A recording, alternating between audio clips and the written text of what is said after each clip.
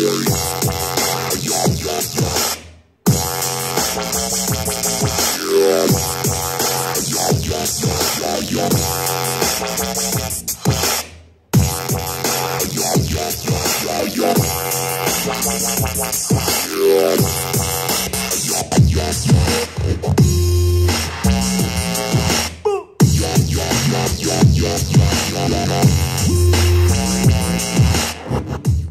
छः हुए बज गए इसके देखते